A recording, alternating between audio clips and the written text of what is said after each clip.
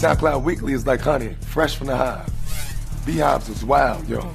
All sorts of worker bees building the hives, while other bees grab the pollen and the nectar. But with all that madness, we end up with the sweet, sweet honey.